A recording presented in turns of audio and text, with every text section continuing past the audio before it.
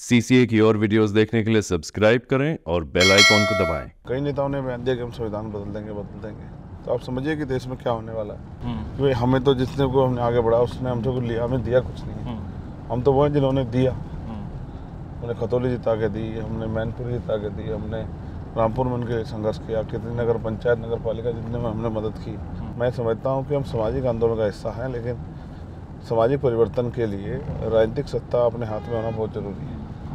क्योंकि बिना शक्ति के आप कोई परिवर्तन कर ही नहीं सकते हो। और शक्ति लोकतंत्र में पढ़े लिखे नौजवान माँ बाप ने एक एक पैसा जुटा के किस तरह पढ़ा लिखा दिया सड़कों पे बेबस लाचार घूम रहे हैं। जितना पैसा था माँ बाप ने लगा दिया अच्छे स्कूल कॉलेज में पढ़ा दिया लेकिन आज रोज़गार नहीं मिल रहा है। तो बात अगर की जाए जो आंदोलन कोई ऐसा आंदोलन नहीं है देश में अगर किसी के खिलाफ भी हुआ हो स्पेशली सरकारों के खिलाफ हुआ तो उसमें चंद्र कोई सरकार नहीं सबके खिलाफ खड़ा रहा जनता के हितों के लिए।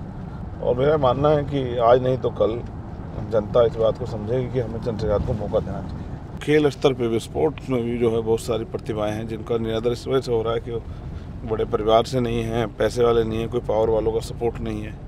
इस वजह से नौजवानों के सपने कुछ ले जा रहे हैं। यहाँ इंडस्ट्रियल एरिया लग सकता है, जिससे लाखों नौजवानों को रोज़गार मिल सकता है। यहाँ कुछ उद्योग लग सकते हैं जिससे यहाँ महिलाओं को घर पर रोज़गार मिल सकता है। उनके, उनको इज़्ज़त की ज़िंदगी मिल सकती है। सड़कों के, नालियों के, सफ़ाई के बहुत बुरे हाल हैं। ऐसा लगता है जैसे जानवर रह रहे हों। तो मेरी चलचित्र अभियान के लिए मंगल कामना है। लोग उसको सुने भी और सब्सक्राइब भी करें।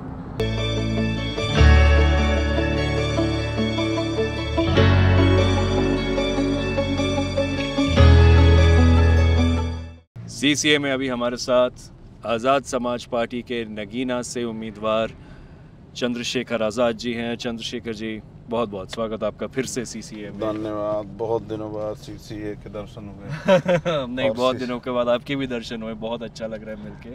हाँ, शेखर भाई? मैं आपसे पूछता हूँ कैसे हैं आप? मैं बहुत ठीक हूँ और बहुत दिनों के बाद यहाँ आकर मेरे लिए एक और भी ये बहुत एक रोमांचक अनुभव इसलिए भी हो रहा है क्योंकि एक बहुत लंबा संघर्ष आपका हमने देखा है बहुत करीबी से देखा है। चौदह महीने जेल में आप रहे सोलह। महीने आप जेल में रहे एनएसए जब आप पर लगा था शब्बीरपुर शब्बीरपुर के उस कांड के बाद और जो आंदोलन हुआ था उसके बाद सी एन आर सी के आंदोलन के बाद भी आप जेल गए तुगलकाबाद में मंदिर वाले में। मंदिर वाला जो रविदास मंदिर था उसके बाद भी आप जेल गए। और आज आप यहाँ पर नगीना से प्रत्याशी हैं। कई बार जल मैं। उसके बाद भी आप कई बार जेल गए लेकिन ये मेरे ख्याल से तीन वो long period long period Long period. आज नगीना में इतने संघर्षों के बाद आज आप यहाँ पर उम्मीदवार हैं। किस तरह का आपको रिस्पांस मिल रहा है? और क्या ये जो लंबे संघर्ष रहे हैं, उसका कहीं ना कहीं एक रिफ्लेक्शन इस चुनाव के प्रचार में आपको नज़र आ रहा है? बिल्कुल है बिल्कुल है। वो संघर्ष जो मैंने किए हैं, निस्वार्थ भाव से, जिसके पीछे कोई राजनीतिक मकसद नहीं था। तब तो मुझे पता भी नहीं था कि मैं हमारी पार्टी बनेगी। तो मुझे ये भी नहीं पता था कि मैं ज़िंदा रहूँगा जिस तरह के हमले मेरे ऊपर हुए दो तीन दिन बाद। ये वही गाड़ी जिसमें गोली चली थी। तो मैं मानता हूँ कि जो मैंने किया है सेवा भाव से, आज उसका फल, प्यार, आशीर्वाद और वोट के रूप में मिल रहा है। ये जो आप कह रहे हैं कि इतने सालों से आपने एक सेवा भाव से किया है, कहीं ना कहीं जो आपने हर बार अपने संघर्षों में, भाषणों में जो आप बात करते हैं आंदोलनों में, वो है संविधान बचाने की। लेकिन आपके विपक्षी दल, भाजपा के कई सारे प्रत्याशी देश भर में यही कह रहे हैं कि भाजपा को चार सौ सीटें दिलवाएँ ताकि संविधान बदल बद, बदला जा सके। इस पर आपका क्या कहना है? वो तो बहुत दिन पहले से इस बात को कह रहे हैं। आरएसएस ने तो पहले दिन से संविधान का विरोध किया है। जीते जी बाबा साहब की सब यात्रा आरएसएस के जनसंघ के लोगों ने निकाली। और वो उन्होंने मना कर दिया कि हम आरएसएस के हम इसको जो है संविधान को मानेंगे नहीं और इस तिरंगे झंडे को भी नहीं मानेंगे। तो अब तो उनकी सियासी मजबूरियाँ हैं कि वो प्रधानमंत्री को गृह मंत्री को बयान देने पड़ते हैं कि संविधान को कुछ नहीं होगा ये होगा। लेकिन उनके नेता जो निचले स्तर के नेता नेता हैं चोटी के नेता तो कुछ और बात बोलते हैं क्योंकि वो कथनी और करनी फ़र्क है लेकिन नीचे के नेता तो वही बात बोलते हैं जिनको कैडर में समझाई जाती है। कई नेताओं ने बयान दिया कि हम संविधान बदल देंगे बदल देंगे। तो आप समझिए कि देश में क्या होने वाला है। और ऐसे समय में हमें मिलकर भारतीय जनता पार्टी को रोकना चाहिए था। इसके लिए सबकी तैयारी होनी चाहिए थी, मगर मुझे ऐसा लगा कि बाकी पार्टियाँ भी अपने राजनीतिक वजूद को बचा कर रखना चाहती हैं। शायद उनके जनता के हितों से, संविधान की सुरक्षा से उनको कोई लेना देना नहीं है। अगर ऐसा नहीं होता तो फिर शायद इंडिया अलायंस के का एक बड़ा हिस्सा हम भी होते और उसमें उसके ज़रिए हम भाजपा को रोकने के लिए काम कर रहे हैं ये कई लोगों को उम्मीद थी कि आप समाजवादी पार्टी के साथ गठबंधन होगा आज़ाद समाज पार्टी का। क्यों वो बात नहीं बन पाई? क्या हुआ था? मैंने तो छोड़ा आप हाथ उन्होंने छोड़ा अपने तरफ़ से। हम्म, तो पिछली बार उन्होंने मेरे ऊपर आरोप लगा दिया था कि मैं चंद्रशेखर किसी का फ़ोन आ गया इसलिए उन्होंने लाइन तोड़ दिया। हम्म, तो इस बार तो पिछली बार की बात छूटी तो इस बात की बात इस बार उनको कहने कुछ है नहीं। इस बार उन्होंने नई बात बताई हम्म, कि भाई हमें तो जिसने को हमने आगे बढ़ा उसने हमसे को लिया हमें दिया कुछ नहीं। हम्म, हम तो वो हैं जिन्होंने दिया। हम्म, हमने खतौली जिता के दी हमने मैनपुरी जिता के दी हमने रामपुर में उनके संघर्ष किया कितनी नगर पंचायत नगर पालिका जितने में हमने मदद की। हम्म, और फिर घोसी में जिता के दी। वो कहें कि नहीं जिताई? वो इस बात कहें तो हमने तो देखो ऐसा है। हम्म, बहुत धीरे धीरे राजनीति समझ में आ रही है कि राजनीति करने वालों के अलग अलग एजेंडे हैं। कोई पैसे पावर के लिए राजनीति कर रहा है। कोई सुख सुविधाओं के लिए कर रहा है। कोई अपने साधनों को बचाने के लिए कर रहा है और कोई अपने साधन तैयार करने के लिए कर रहा है। हम्म, वही चंद्रिका याद बहुजन समाज के जो महापुरुष हैं हम्म, उनके अधूरे सपनों को पूरा करने के लिए राजनीति कर रहा है। हम्म, मैं समझता हूँ कि हम सामाजिक आंदोलन का हिस्सा हैं लेकिन सामाजिक परिवर्तन के लिए राजनीतिक सत्ता अपने हाथ में होना बहुत ज़रूरी है। क्योंकि बिना शक्ति के आप कोई परिवर्तन कर ही नहीं सकते हो। हम्म, और शक्ति लोकतंत्र में सत्ता में है। हम्म, तो जब तक लगा आप सत्ता में नहीं होंगे आप अपने लोगों का कोई भला नहीं कर सकते। हम्म। ये आपने बहुत महत्वपूर्ण बात कही कि कहीं ना कहीं राजनीतिक सत्ता की बहुत ज़रूरत है कोई ठोस परिवर्तन लाने के लिए। ये मैं आपसे इसलिए सवाल पूछूँगा कि फिर कौन से वो ठोस मुद्दे हैं जिनके साथ आप इस चुनाव में जा रहे हैं? कौन से ये ठोस मुद्दे हैं जिनके साथ जो आप अ, सत्ता में आने के बाद जिनको आप उठाना चाहेंगे जिन पर काम करना चाहेंगे? देखिए राष्ट्रीय स्तर के तो बहुत सारे ऐसे मुद्दे हैं। जो चर्चा का विषय होने चाहिए लेकिन इस जिस पे कभी चर्चा नहीं हुई हम्म, लेकिन आज के उसमें तो बेरोजगारी सबसे बड़ा मुद्दा है। हम्म, पढ़े लिखे नौजवान माँ बाप ने एक एक पैसा जुटा के किस तरह पढ़ा लिखा दिया सड़कों पे बेबस लाचार घूम रहे हैं। हम्म, जितना पैसा था माँ बाप ने लगा दिया अच्छे स्कूल कॉलेज में पढ़ा दिया लेकिन आज रोज़गार नहीं मिल रहा है। हम्म, जिस तरह से मंदी आई है मंदी का एक दौर हम भारत ने देखा दुनिया ने देखा लेकिन भारत में उसका बहुत बड़ा असर था। हम्म, तो उसके बाद जो है प्राइवेट सेक्टर किस तरह टूटा ये भी हम लोगों ने देखा हम्म। कितनी नौकरियाँ चली गई। हम्म। और गवर्नमेंट सेक्टर में तो कुछ बचा ही नहीं है। सारे सबका निजीकरण सरकार ने कर दिया लगभग। जिसकी वजह से आरक्षण पर भी हाँ सब कुछ। हम्म। मतलब एक तरह से हमें दफन करने की तैयारी भारतीय जनता पार्टी सरकार ने की। तो मैं समझता हूँ कि बेरोजगारी सबसे बड़ा मुद्दा है। गरीब आवाम के लिए गरीब जनता के लिए महँगाई एक बहुत बड़ा मुद्दा है। हम्म, कानून व्यवस्था एक बहुत बड़ा मुद्दा है। हम्म, और जो सामाजिक न्याय हम्म, जिसमें आरक्षण से लेकर वो सब चीज़ें हैं हम्म, जिनसे बुनियादी जो ज़रूरतें पूरे होंगी और बुनियादी सुविधाएँ अंतिम लोगों तक पहुंचेंगी। हम्म, वो एक बहुत बड़ा मुद्दा है जिससे हम लोग बहुत दूर हैं। हम्म, आज़ादी के पचहत्तर साल बाद भी आज तक हम्म। लोग बुनियादी सुविधाओं से वंचित हैं। तो चंद्रशेखर भाई मेरे को ये बताइए आप कि बुनियादी सुविधाओं से तो लोग वंचित हैं और आज बे- बेरोज़गारी की बात कर रहे हैं। बहुत बड़े बड़े आंदोलन हुए हैं पिछले दस सालों में। चाहे वो शबीरपुर के बाद वाला आंदोलन हुआ चाहे वो अ, किसान आंदोलन हुआ चाहे वो एन के ख़िलाफ़ आंदोलन हुआ चाहे वो S C S T act को जब हटाने की कोशिश की जा रही थी उसके ख़िलाफ़ आंदोलन हुआ अ, चाहे वो महिला पहलवानों का उनके यौन शोषण के ख़िलाफ़ जो आंदोलन था और इन बड़े आंदोलनों में कहीं ना कहीं आपकी भी एक हिस्सेदारी रही है क्या इन आंदोलनों का एक असर एक रूप क्या इस चुनाव में आप होते हुए देख रहे हैं देखिए अगर मैं राष्ट्रीय स्तर के मुद्दों पर लोकल के मुद्दों की बात हम्म। करूँ हम्म, तो यहाँ पर भी बाढ़ की समस्या है हम्म। मिलों के द्वारा समय पैसे न मिलना आवारा पशुओं की समस्या है। हम्म, हम्म, फ़सल का नुकसान हो जाता है कोई मुआवजा नहीं मिलता है। कुटीर उद्योग नहीं है यहाँ महिलाओं के रोज़गार के लिए। हम्म, पशुपाल के दूध बेच के उनको हम्म। काम करना पड़ता है। अच्छे स्कूल नहीं है कॉलेज नहीं है यूनिवर्सिटियाँ नहीं है हॉस्टल नहीं है। यातायात के बहुत से साधन नहीं है जाम की समस्या है। और नगीना स्पेसिफिकली हाँ, हम्म। नगीना लोकसभा में। हम्म। एक भी बढ़िया बड़ा मेडिकल कॉलेज नहीं है। हम्म, यहाँ की ज़रूरत है कि यहाँ एम्स जैसा हॉस्पिटल हो बड़ा इंटीरियर क्षेत्र है ये। हम्म, हम्म, तो ऐसा कुछ भी नहीं है उद्योग धंधे नहीं है लोगों को। प्राइवेट सेक्टर में कोई रोज़गार मिल जाए सरकारी नौकरी आ नहीं रही है।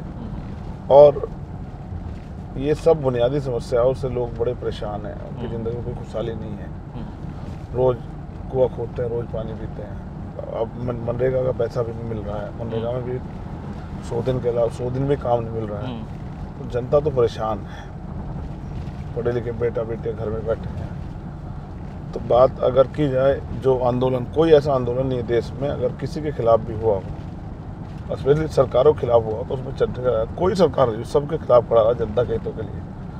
तो कहीं ना कहीं उसका असर मिलता तो है ही। लोग देखते हैं, समझते हैं उनहत्तर शिक्षक भर्ती का मामला हो एस एस का मामला हो, नागल में बच्ची के रेप का मामला हो, हाथरस की बेटी का मामला हो, उन्नाव की बेटी का मामला हो एनआरसी का मामला हो और जिस तरह से जो है जितेंद्र मेघवाल की मूछे रखने पर हत्या इंद्र मेघवाल की मटकी छूने पर हत्या ओम प्रकाश रेगर का सुसाइड नोट जो है आज भी मुझे चिल्ला देता है मुझे चीखने को मजबूर कर देता है रात में।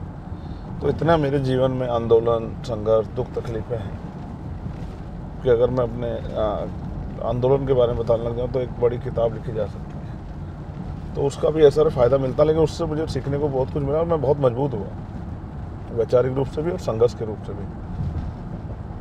और मेरा मानना है कि आज नहीं तो कल जनता इस बात को समझेगी कि हमें चंद्रयाद को मौका देना चाहिए।